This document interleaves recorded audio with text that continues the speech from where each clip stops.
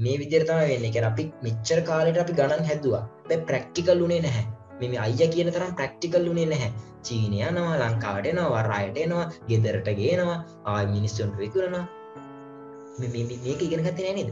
ඕක තමනගේ මල්ලි ගණක්කය අපි ගණන් සාමාන්‍ය පිළිබාගට පාසල ඒක ගත්තර වැඩක් නෑ ඔය කවදරි කාරයක් මොකර පුත්සයි කලයක් හරි ගන්න යනකට මේ වැදගත්වෙන පුත්සයි කල කොන්න ෆෝන් එකක් ගන්නකට ෆෝන් එන්න කොහෙද? චීනගෙන ඉන්දියාවගෙන ඔය ෆෝන් එකකටත් ඔය සිීන්න එක වෙනවා ඔය ඔය ඔය ඔය කියන වැට් අයිති වෙනවා. ගොඩ බාන්න යන්න. ඇති බාන්ඩ දෙන්න කොහත් ගොඩෙන් එන්නක ඩින්ගෙන ගුඩින්ගෙන කොහින් අරියනවන එතකට කොමරි ඔය ඔය කියන දේවල් රජය තියාගෙන තමයි ඇත්තම ෆෝන් එක වැටිනකම අපටෙන්නේ එතකොට iPhone 12 ප්‍රෝමක්ස් ඔය ඔක්කෝ පිට වෙනකොට ඒ ඒරට තියෙන වටිනාකම නෙවේ ලංකාවටනකොට ඒක වටිනාකම ගොඩක් වැඩියෙන ඔය වැඩ් වටිනාකම් වැඩි වෙන කතන්දරේ තමයි මේක.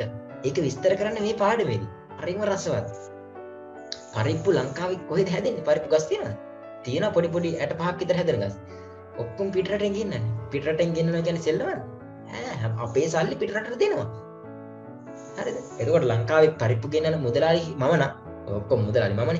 මන ලංකාවන්න ලොකොම් පරිප් මුදලාලි මම ගන්න පිට එතුර මගේ අතෙන් වියදන්ගෙන ගාන හොයන්න මොකද පරිප්පුවලට යන වීදමට අමතර ම රජයට ගවන්න මුදලා ගෙන්න්නනවාට මේ ඒකත් ගෙවල තමයි ම ගන්න ඉට පස්ස ම ඒ මුදලට ගුණන්න ඉටස් වැඩිමුලට වැඩි මුදලට තම විකරන්නේ ඔය කියන්නේ ඇත්තම මේ ලෝක සිද්ධ වන කතන්දරය ඔය කතන්දරේ සිරාවටම ගානක් විදිට ගත්ත එකක්ත ම ඉදිරවලත එක සාකච්ඡ කර.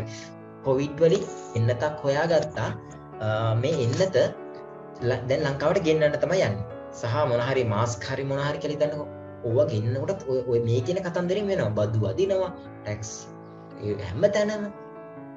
ඒක නිසා ගාන හදල උත්තරේ ගන්නවා නෙවෙයි මම දකින්න වීරයෙක් විදියට දක්ෂයෙක් විදියට.